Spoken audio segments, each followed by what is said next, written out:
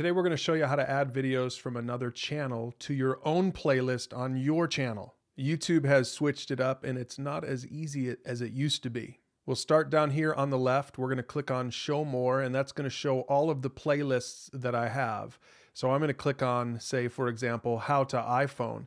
Now, you'll notice I already have a few videos in there, but I want to talk about how to add a video from another channel. What you'll need to do is click on the three dots right here and click Add Videos.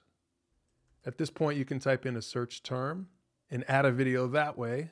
Make sure to click Add Videos down at the bottom. You'll notice that that official music video was added to the bottom of my list. Or you can go in there and add by URL, paste the YouTube URL right there. One other change you'll want to be aware of with YouTube is the playlist settings. You get it once again through those three dots, and that's where you can add new videos to the top of the playlist or allow embedding. Clicking on advanced settings, by the way, brings you back to the old way of looking at YouTube playlists for those of you who are interested. Thanks for watching.